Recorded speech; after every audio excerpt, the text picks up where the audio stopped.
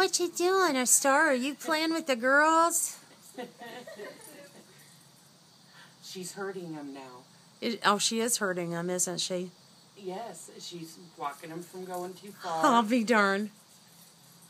How about that?